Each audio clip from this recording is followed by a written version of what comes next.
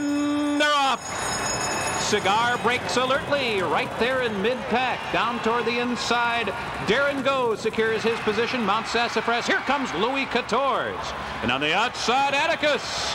Atticus has come on to take the early lead. Mount Sassafras down inside. Louis Quatorze is in between them. Alphabet Soup, the gray is there on the outside. Tamayaz is showing some speed. Dare and Go is there. And Cigar has come out running in seventh position. He's in behind horses on the outside as the field moves into the clubhouse turn. Now Bailey guides him over a bit toward the inside. Dramatic Gold is following Cigar as they enter the clubhouse turn. Japan's Taiki Blizzard running three wide. The Belmont winner, editor's note, four wide round the first turn. Formal Gold down inside. Will's Way is lingering near the back of the pack. And six lengths behind the rest of them is stretch running Mahogany Hall.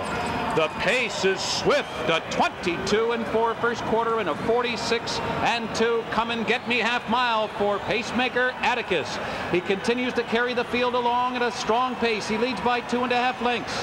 Louis Quatorze is running in second. Mount Sassafras is third. The Gray Alphabet Soup is fourth. And Cigar is fifth. Bailey has him on the clear and on the outside. Dramatic Gold is there toward the inside. There's a half mile left.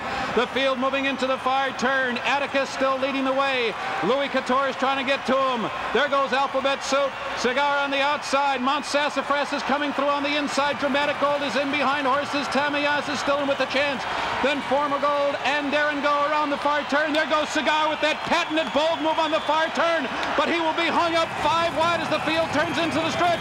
Mount Sassafras is coming away with the narrow lead. Cigar trying to get him as they reach the top of the stretch. Louis Quatorze and Alphabet Soup fighting ungainly. Mount Sassafras clinging desperately to the lead. Alphabet Soup in with an upset chance. Cigar, the heart of it champion, trying to get him. It's Alphabet Soup. Cigar on the outside. Louis Quatorze. Alphabet Soup has scored a shocking upset. Cigar another victory in the Breeders' Cup Classic. There they are as they came under the line, and it was Alphabet Soup and Chris McCarron. A brilliant ride today. Cigar was hung up wide the whole way. I am sure that was the winning difference this afternoon.